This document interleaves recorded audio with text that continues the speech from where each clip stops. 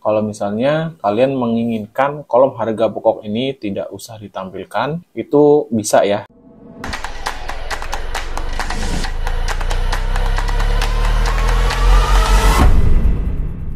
Assalamualaikum warahmatullahi wabarakatuh Kembali lagi di channel Trigona Software Oke, pada video kali ini saya akan membahas uh, bagaimana caranya menyembunyikan harga pokok pada tampilan master data maupun datasheet Oke ya, jadi secara defaultnya di tampilan menu daftar item maupun menu datasheet itu di sini ada kolom harga pokok Nah, kalau misalnya kalian menginginkan kolom harga pokok ini tidak usah ditampilkan, itu bisa ya. Jadi kita harus setting di menu pengaturan.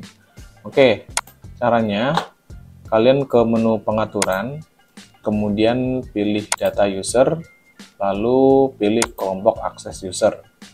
Nah, e, untuk saat ini saya login menggunakan admin ya, di mana admin ini adalah administrator dari uh, program iPOS itu sendiri. Jadi kelompok usernya di sini pilih administrator. Atau misalnya kalian mau uh, membatasi kelompok tertentu ya, misalnya kalian mau membatasi manajer. Manajer uh, untuk posisi manajer dia tidak uh, boleh menampilkan harga pokok ya. Jadi pada uh, kelompok user manager, kemudian di tab master data ini di sini ada opsi tampil harga pokok pada master data, tampil harga pokok pada datasheet.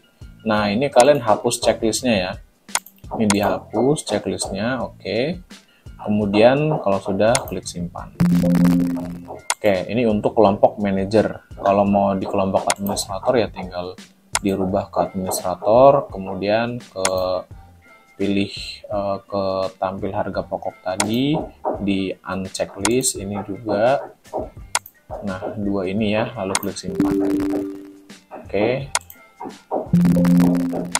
nah kalau sudah kalian bisa coba login ulang ya untuk uh, memastikan bahwa settingnya sudah berhasil ya oke kita coba login ulang sebagai administrator kita cek di menu daftar item. Nah, ya di sini sudah tidak tampil ya untuk tampilan harga pokoknya di sini tidak ada, hanya ada harga jual ya. Oke, jadi sudah berhasil settingnya. Kemudian di datasheet coba kita cek juga. Nah, di datasheet juga sama ya, hanya tampil harga jual saja, tidak ada harga pokok satupun. Oke. Mungkin uh, cukup sekian dulu untuk video kali ini tentang penjelasan bagaimana cara menyembunyikan harga pokok dan juga uh, sorry cara menyembunyikan harga pokok pada master data dan datasheet. Mudah-mudahan bermanfaat ya buat kita semua. Jangan lupa tekan tombol like-nya dan subscribe-nya bagi yang belum agar kalian tidak ketinggalan kalau ada notifikasi video terbaru dari channel ini. Sampai ketemu lagi di video selanjutnya. Wassalamualaikum warahmatullahi wabarakatuh.